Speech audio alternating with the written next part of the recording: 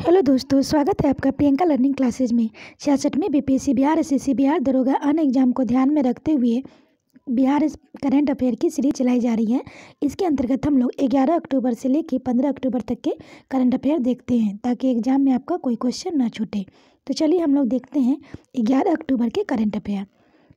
इसके अंतर्गत पहला क्वेश्चन है, हाल ही में देश के किस न्यायालय में पहली बार स्टूडियो कोर्ट की व्यवस्था की गई है तो इसका आंसर होगा पटना उच्च न्यायालय। इसको इसकी व्याख्या देखते हैं। देश में पहली बार पटना उच्च न्यायालय में स्टूडियो कोर्ट की शुरुआत की गई है।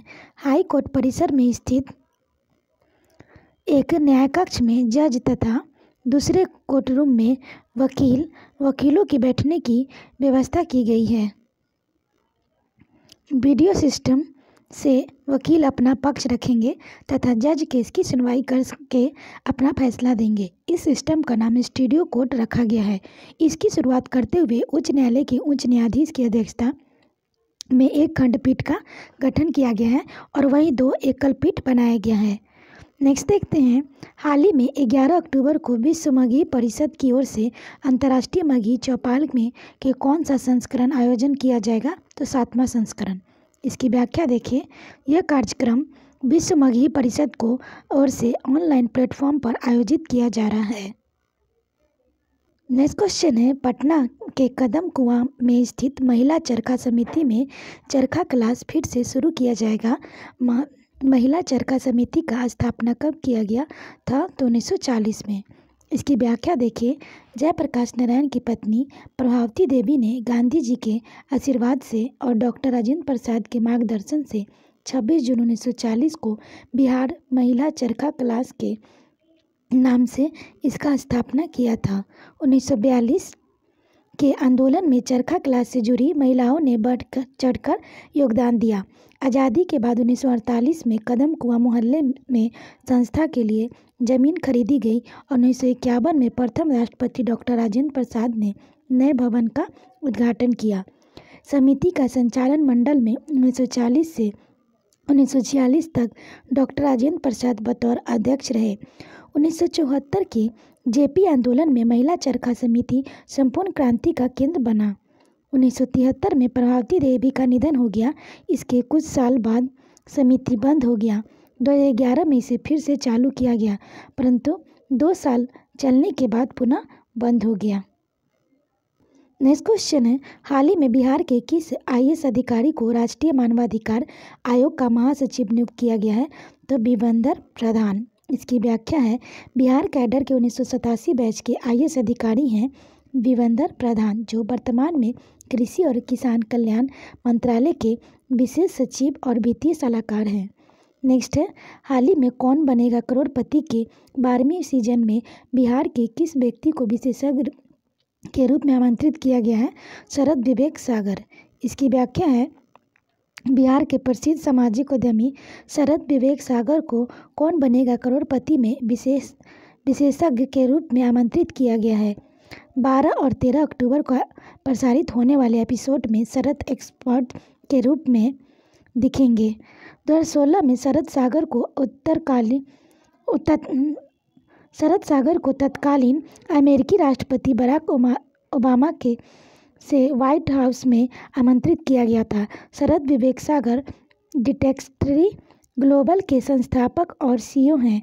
शरद विवेक सागर को इंग्लैंड के महा महाराजों के द्वारा किंग्स यंग लीड्स में भी शामिल किया जा चुका है। फोर्स पत्रिका ने इन्हें विश्व विश्व के तीस प्रभावशाली युवाओं की सूची में शामिल किया था।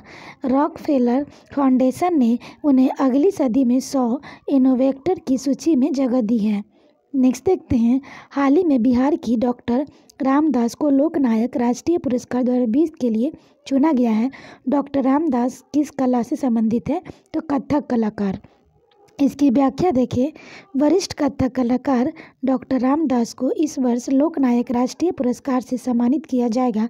यह पुरस्कार उन्हें कथक नृत्य के क्षेत्र में अतुलनीय योगदान के लिए दिल्ली की एक संस्था लोकनायक नायक जयप्रकाश नारायण अध्ययन विकास के केंद्र की ओर से दिया जाएगा। नेक्स्ट है, वार्षिक स्कीम के तहत बिहार बजट 2020-21 में जल संसाधन विभाग को कितना रुपया आवंटित किया गया है? तो तीन हज़ार करोड़। इसकी व्याख्या देखें, नगर नगर विकास एवं आवास को तीन हज़ार चार सौ अठारह करोड़ रुपया आवंटित किया गया है। पथ निर्माण में विभाग को पाँच हज़ार पाँच सौ इक्यासी करोड़ रुपया आवंटित किया गया है। नेक्स्ट है, वित्त विभाग को उनचालीस सौ पचास करोड़ रुपया आवंटित किया गया है। नेक्स्ट क्वेश्चन है, कोरोना को देखते हुए चुनाव आयोग ने बिहार चुनाव के दौरान राजनीतिक दलों के प्रचार के लिए दूरदर्शन पर टेलीकास्ट व रेडियो व पर ब्रॉडकास्ट के समय कम से कम कितना तय किया है तो नब्बे मिनट। इसकी व्याख्या देखिए। पहले यह समय 45 मिनट का होता था। समय का निर्धारण 2015 के विधानसभा चुनाव में मिले वोट के आधार पर किया गया है। एक बार में किसी भी दल को 30 मिनट से अधिक समय नहीं मिलेगा। कोई भी दल किसी दूसरे देश की शिकायत अपनी बात के दौरान नहीं करेगा। साथ ही देश की एकता और अखंडता तथा देश की धार्मिक समुदाय पर प्रहार नहीं होना चाहिए। ऐसी बातें की भी नहीं बोलना है जिससे कोर्ट की अवमानना हो। अब हम लोग देखते हैं बारह अक्टूबर के करंट अफेयर। पहला क्वेश्चन है, राज्य उद्यानिक उत्पाद विकास कार्यक्रम के तहत बिहार के किस ज़िले में आलू की खेती को बढ़ावा देने के लिए कॉमन फेस्टि, फेस्टिलेटर सेंटर की स्थापना, स्थापित किया जाएगा? तो नालंदा। इसकी व्याख्या देखिए। बिहार के नालंदा ज़िले के बिहार शरीफ सोडी में आलू के प्रोसेसिंग के लिए कॉमन फेस्टिलेटर सेंटर स्थापित किया जाएगा। यहाँ प्रोसेसिंग ग्रेडिंग फ्लाइडर व पैकेजिंग का मशीन लगाया जाएगा तथा बड़े पैमाने पर आलू का चिप्स बनाया जाएगा। यह योजना पाँच साल की है। राज्य आधारिक उद्यानिक उत्पाद विकास कार्यक्रम के तहत विशेष फ़सल खेती के अंतर्गत नालंदा को आलू के लिए चयनित किया गया है। आलू की खेती व प्रोसेसिंग के राज्य सरकार के द्वारा किसानों के समूहों को नब्बे प्रतिशत तक के अनुदान दिया जाएगा। आलू की खेती के लिए किसानों के समूह बनाया जाएगा। इसके लिए बिहार शरीफ नूरसराय और रोहित प्रखंड को मिलाकर किसानों का समूह Bihar Sharif farmer producer company बनाया गया है। इसके अंतर्गत छियासी किसानों को जोड़ा गया है। अब हम लोग नालंदा के बारे में देखें तो यह पटना प्रमंडल में आता है। पटना प्रमंडल के अंतर्गत छः जिला आता है। पटना, नालंदा, भोजपुर, बक्सर, रोहतास, कैमूर। मुख्यालय बिहार शरीफ, स्थापना उन्नीस सौ बहत्तर। इसकी व्याख्या देखें। बिहार, बख्तियार खिलजी को पहली महत्वपूर्ण विजय उदंतपुरी बिहार शरीफ की विजयी थी, जो ग्यारह सौ अंठानवे ईस्वी में संपन्न हुआ था। नेक्स्ट है, पंत अभ्यारण्य नालंदा के राजगीर में है। नेक्स्ट है, नालंदा विश्वविद्यालय को 2016 में यूनेस्को के विश्व विरासत में शामिल किया गया था।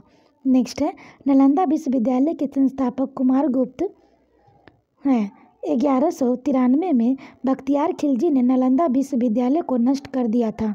नेक्स्ट है वेन सैंग बारह वर्षों तक नालंदा विश्वविद्यालय विद्यार्थी और शिक्षक के रूप में व्यतीत किया। नेक्स्ट है उन्नीस सौ इक्यावन में नालंदा में एक संग्रहालय का निर्माण किया गया, जिसका नाम नव नालंदा महाविहार है। नेक्स्ट है नालंदा में ही राजगीर है, जो पाँच पहाड़ियों से घिरा हुआ है। बिहार का प्रसिद्ध पर्यटक स्थल है। नेक्स्ट है, तुगलक काल में बिहार की राजधानी बिहार शरीफ थी। नेक्स्ट है मध्यकाल में बिहार शरीफ बिहार शरीफ पाल वंशीय शासक गोपाल द्वारा निर्मित कराए गए उदंतपुरी विश्वविद्यालय प्रसिद्ध सूफी संत शेख सफरुद्दीन मनेरी का दरगाह प्रसिद्ध था। नेक्स्ट है, महावीर ने मोक्ष की प्राप्ति पावापुरी में की थी, जो नालंदा में स्थित है। नेक्स्ट है, नालंदा में शिलाओं के खाजा को जीआई टैग मिला है। काफ़ी इंपॉर्टेंट है एग्ज़ाम के लिए ध्यान रखेंगे। नेक्स्ट क्वेश्चन देखते हैं, रामविलास पासवान को मिलिट्री ऑनर दिया गया है। सर्वप्रथम बिहार में किसे मिलिट्री ऑनर दिया गया था? तो जयप्रकाश नारायण को। इसकी व्याख्या है, जयप्रकाश नारायण के बाद बिहार के दूसरे नेता के रूप में रामविलास पासवान को मिलिट्री ऑनर का सम्मान दिया गया है। नेक्स्ट है, हाल ही में लोक नायक जयप्रकाश नारायण की जयंती कब मनाई गई है? तो ग्यारह अक्टूबर। इसकी व्याख्या है, जयप्रकाश नारायण का जन्म सारण ज़िले के सिताब दियारा में 11 अक्टूबर 1902 में हुआ था।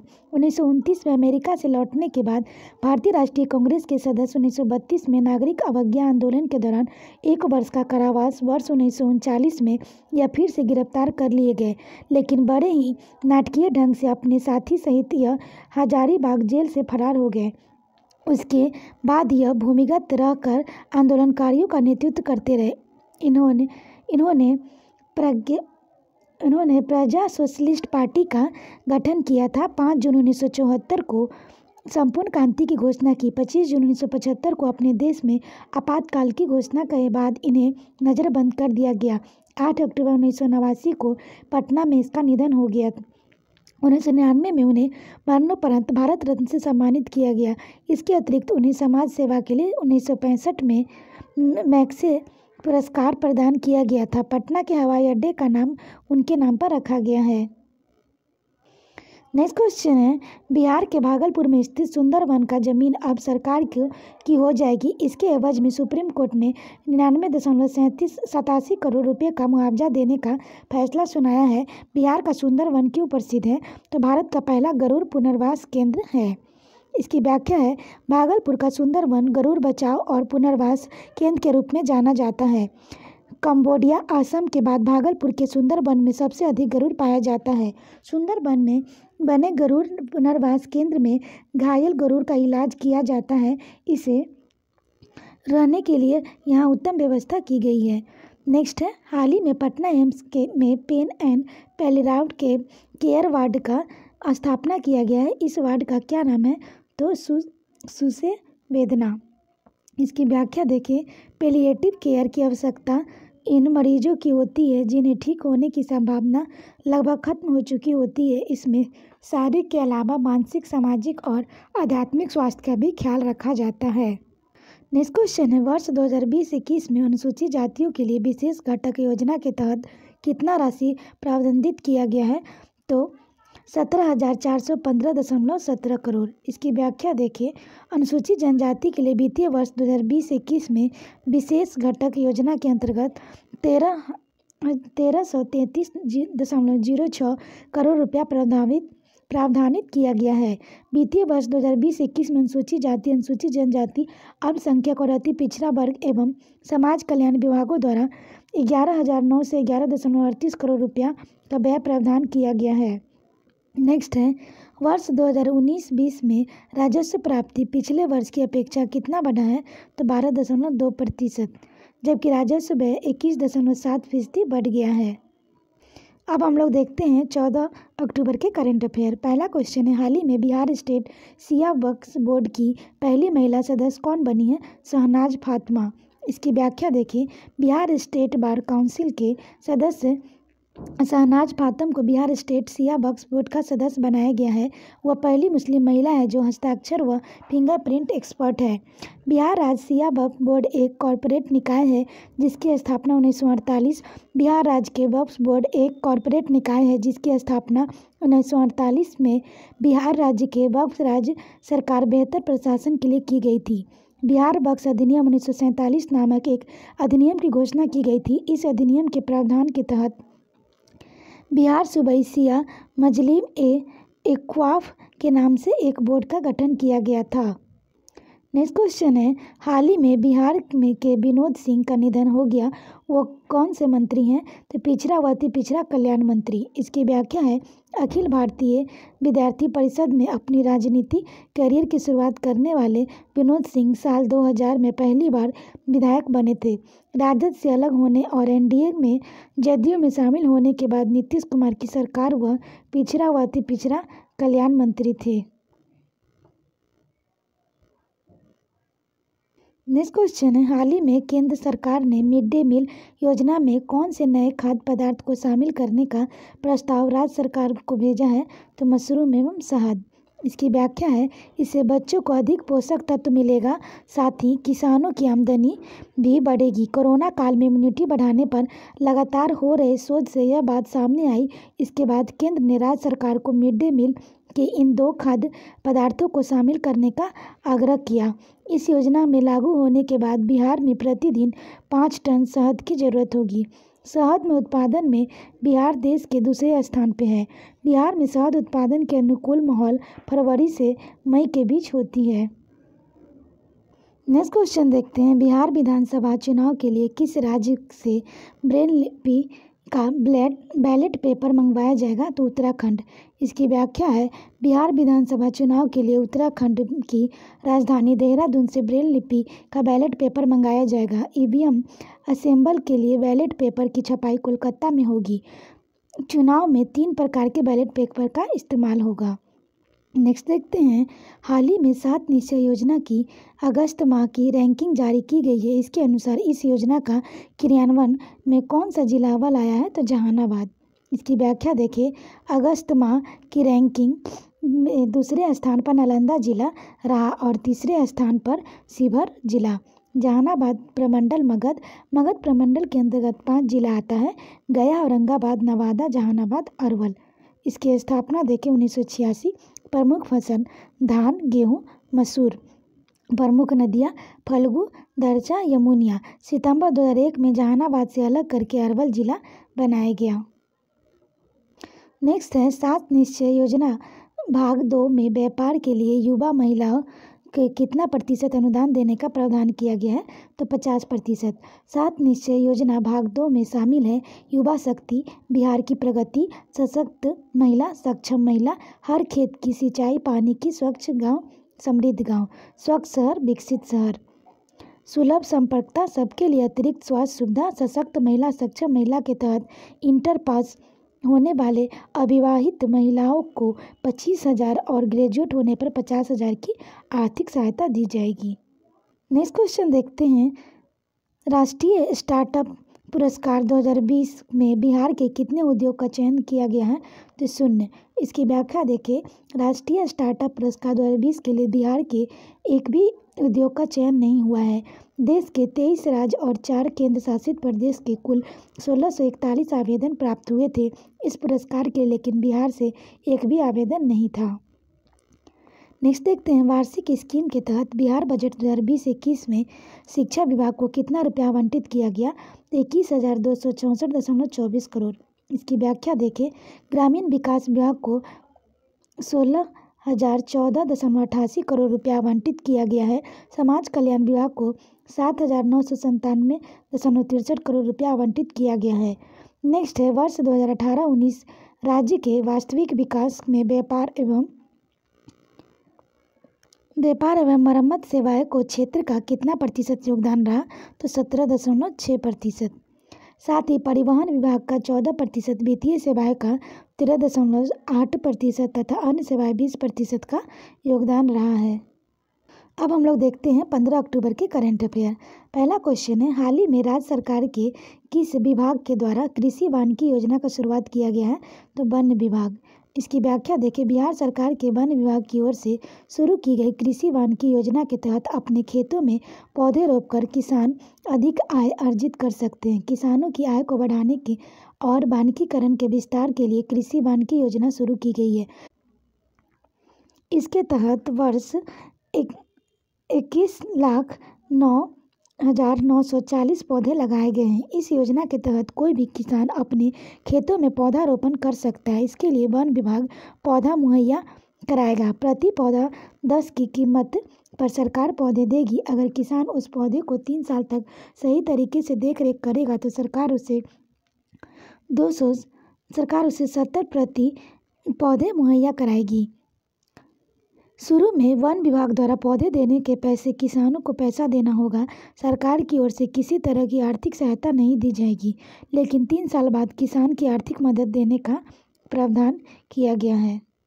नेक्स्ट क्वेश्चन देखते हैं। पटना स्थित महावीर मंदिर के द्वारा पटना के बाद बिहार में किस जिला में आरोग्य सेवा सदन की शुरुआत की गई है? तो इसका आंसर होगा बेगूसराय। इसकी व्याख्या देखें। पटना के बाद बेगूसराय दूसरा शहर होगा जहाँ महावीर मंदिर की ओर से अस्पताल खोला गया है। इस अस्पताल की स्थापना में तीन करोड़ रुपया खर्च आएगा। बेगूसराय के बारे में देखें तो गठन उन्नीस सौ बहत्तर प्रमंडल मुख्य मुंगेर मुंगेर प्रमंडल के अंतर्गत छः जिला आता है। मुंगेर, जमुई, खगड़िया, लखीसराय, बेगूसराय, शेखपुरा, प्रमुख फ़सल गेहूँ, मिर्च और मक्का।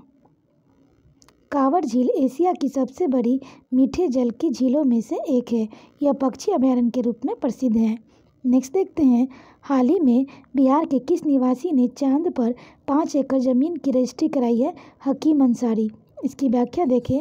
हकीम अंसारी बिहार के मुजफ्फरपुर जिला के निवासी है, जिन्होंने चाँद पर पाँच एकड़ ज़मीन खरीदी है। इसके अलावा बिहार में गया ज़िले के नीरज कुमार गिरी ने भी चाँद पर एक एक एकड़ ज़मीन खरीदा है। लूनर सोसाइटी इंटरनेशनल के द्वारा चाँद पर ज़मीन खरीदा जाता है। चाँद पर ज़मीन खरीदने वाले व्यक्ति को लूनर रिपब्लिक की सिटीजनशिप दी जाती है। नेक्स्ट क्वेश्चन देखते हैं, हाल ही में उत्तम प्रसाद पासवान का निधन हो गया है। वो बिहार के किस कला से जुड़े थे तो मधुबनी पेंटिंग। इसकी व्याख्या देखें, मधुबनी पेंटिंग में में गोदना शैली का प्रख्यात कलाकार और राष्ट्रीय पुरस्कार विजेता उत्तम प्रसाद पासवान का निधन हो गया है, ने बिहार सरकार की ओर से उन्नीस सौ छियासी सतासी में राज पुरस्कार से सम्मानित किया गया था। और 2012 तेरह में इसे सीता देवी पुरस्कार से सम्मानित किया गया था। 2014 में गोदना कला में उत्कृष्ट कार्य करने के लिए राष्ट्रीय पुरस्कार से सम्मानित किया गया था। नेक्स्ट है, हाल ही में बिहार के किस न्यायालय द्वारा यह निष्कर्ष दिया गया कि भारत के मूल निवासी से शादी करने पर विदेशी महिला को भारत की नागरिकता प्राप्त नहीं होगी तो पटना उच्च न्यायालय इसकी व्याख्या है।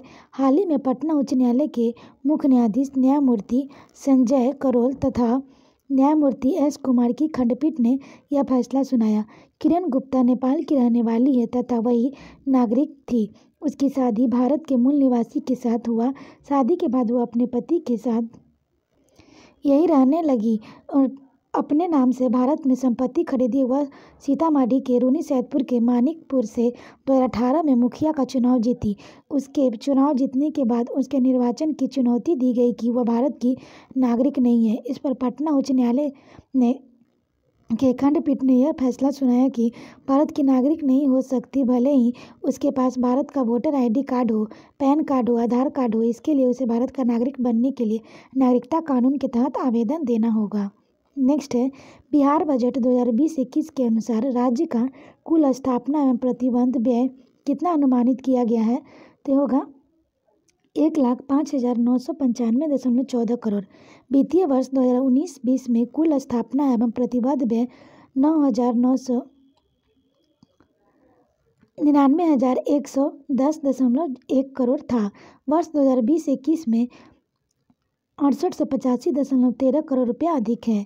नेक्स्ट है, आर्थिक सर्वेक्षण के अनुसार वर्ष दो हज़ार अठारह उन्नीस में वर्तमान मूल्य पर बिहार का निवल राज्य घरेलू उत्पाद कितना रहा है?